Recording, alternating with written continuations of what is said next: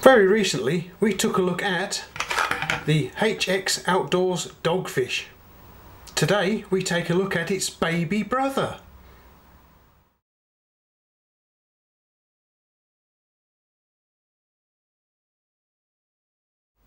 Okay, so today we will be taking a look at the HX Outdoors EDC020A. Let's get it out of the box. And there we go. That's a little thing, isn't it, guys?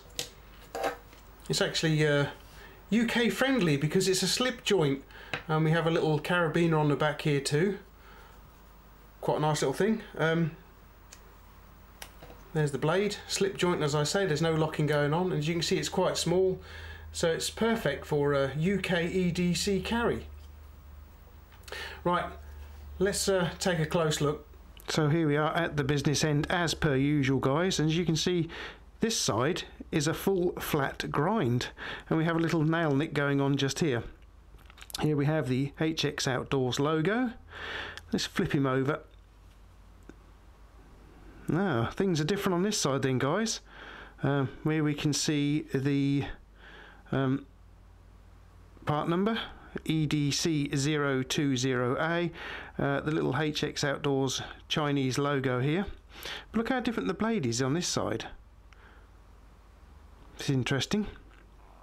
And then we'll move along to the scales, which are G10 and in my favourite FDE.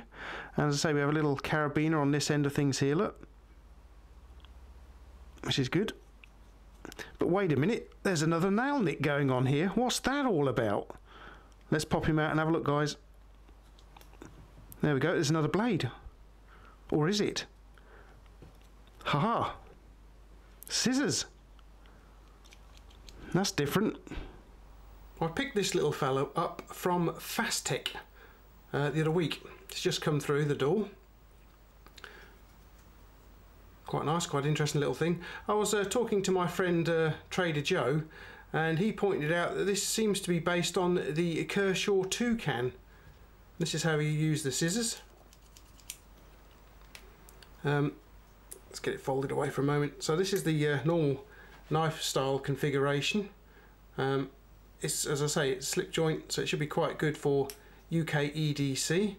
What's it like to hold, guys? Um, actually, it's not too bad at all. There's nothing, uh, there's no pocket clip or anything, no hot spots. I can get, uh, well, just about three fingers on the little fellow, as you can see. Um, the blade folds away quite nicely, like so.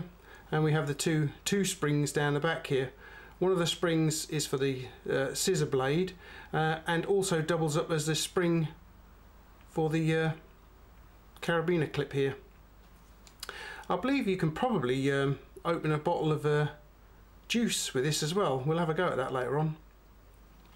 Um, the uh, blade comes out very nicely. Uh, it's very thin, it's about 6 millimeters thick actually. In fact, uh, let's take a look at some dimensions. I measured all these dimensions myself guys. Um, closed, you're looking at 74.4 millimeters.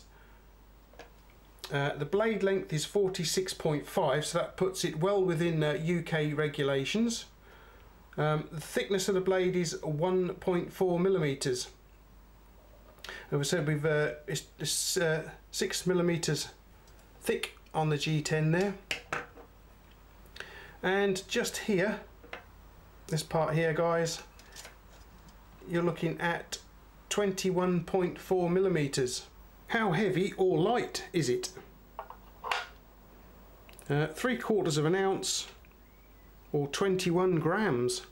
It'll be really easy to carry this little fellow. You can either slip it in the little teeny pocket you get on jeans, fits in there a treat, or you can clip it onto, if I can get it back out again, there we are, you can clip it onto the um, one of the belt loops. Hopefully, there we go.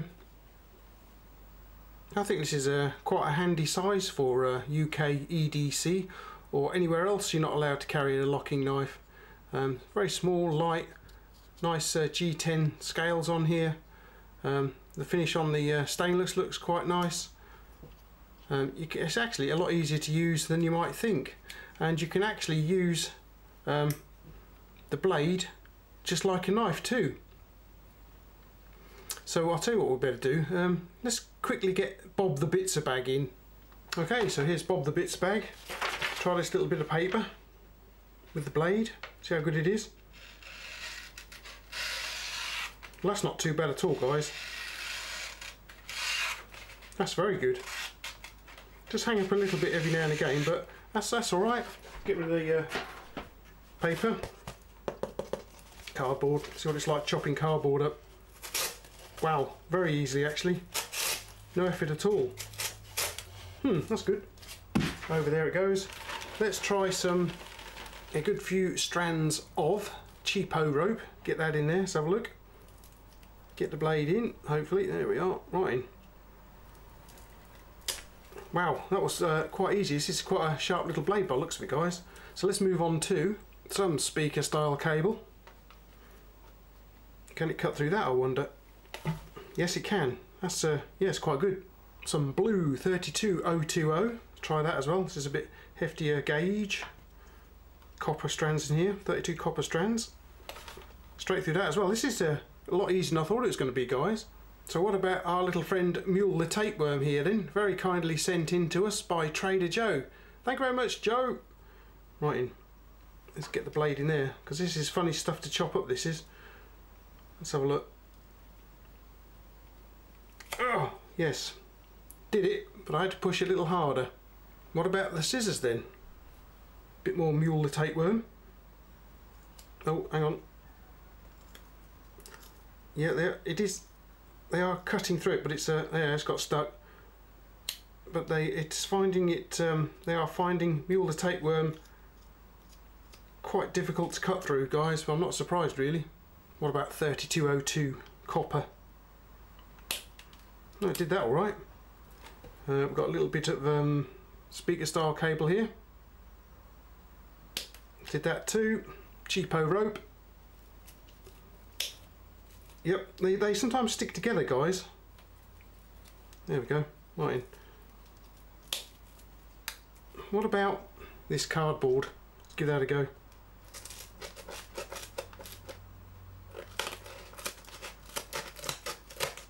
Yep, there we go. Let's cut the cardboard nicely. And they shouldn't really have any bother handling paper, guys. Not really. Pretty good. Uh, pretty good with paper. Not bad at all then. Well that was surprisingly sharp and uh, very easy to cut through a lot of stuff. Um, however, using the scissors, I did uh, find they're a little bit on the uncomfortable side when you cut through something thick. Obviously, I mean they're obviously not designed for chopping heavy duty stuff. Um, we've got a little bit of a jimping along the back of the blade here for, you know, to engage your finger as you're using it as scissors. Um, folds away quite nicely. Uh, the cutting edge of the blade is actually uh, serrated here to help with the chopping of stuff, uh, chopping of stuff up. And so we've got this little carabiner on the back. I wonder if we can actually use that to open a bottle then, guys. Uh, Mrs. Rathbone's not here at the moment, so we'll have to uh, do this by ourselves. Right, can we do it then? Can we actually clip this uh, carabiner onto the cap? Yes, we can. Now, is it strong enough to rip the cap off the bottle or will it damage the carabiner itself because it's very thin? Let's give it a go. Oh, blimey, I'm going to have to go uh, a couple of times with this, I think. Oh. There we go, made a mess all over the place and it holds the cap very nicely for you too guys so you don't lose the cap. Right, let's have a swig. Mm. And we'll also spill it all over the place while we're doing it too guys. So you can use a carabiner to get a cap off of a bottle too which is quite handy and it hasn't uh, bent it either guys. It's quite strong and as I say this is part of the uh, spring. Just runs up here as part of the spring for the main blade too I say slip joint quite handy for uh, us in the UK I like this a lot actually it's not too bad at all it's a bit small but then again it's uh, when you look at it it's not exactly uh, threatening or tactical in any way which is uh, exactly what we want here so this is an interesting take on the Kershaw Toucan then. The um, HX Outdoors EDC, everyday carry, so you can carry it with you every day. O20A. I don't know if there's going to be a B. If there is going to be a B, I wonder what it is going to be like. But anyway, it's, it's quite nice. It's quite uh, small and compact, easy to carry. Uh, will fit into your pocket. You can hang it off of a bag, your belt loop. Um, you can very easily carry it in your EDC pack too. Uh, if you're a, a female, a young lady, you could carry it in your handbag without even noticing it because it's very, very light too. Um, the construction to me looks uh, quite good. It's a quite good quality finish on it. I purchased mine from Fasttech so what I'll do is I'll leave you a, a link in the descriptive text below so you can pop along, take a look at it, um, check the availability and price in your country wherever you're watching. I guess it does actually look like a toucan as well, doesn't it look guys? That's probably where Kershaw got the name from, but uh, yeah, this is uh, the HX Outdoors reboot of the uh, toucan. Um, construction, as I say, is quite good. It runs quite nicely. The, the scissors do actually uh, sometimes, they will hang up if you're trying to cut something too thick really, because they're not really meant for heavy duty work. And away it goes quite nicely guys. Okay, right then, don't forget you can subscribe to my channel. Thank you very much guys. Uh, you can share the review with your friends and if you enjoyed it please feel free to click a like and don't forget to share the review on your social media too guys. You can also follow me on Instagram because I put up uh, pictures and I have actually done that today, put up a picture of this one a few moments ago on Instagram. Uh, there's my Google Plus as well, you can follow me on there too and you can also support the channel via Patreon too because I'm on Patreon guys. Thanks for everyone who's supporting me on there already. Please feel free to let me know in the uh, comments down below what you think of the, uh, the little knife here quite a nice little thing. I say it's ideal for a UK EDC because of its size and it's a uh, non-threatening, non-tactical. It's a little slip joint. You shouldn't have any problem. I wouldn't have thought uh, carrying this thing around. Should be all right. All right then, everyone. Well, thanks for popping over. Thanks for taking a look at the review. Um, I hope you'll pop by again. Um, thanks for watching, and I'll catch you back here at Rathbone Manor sometime in the near future then. Laters!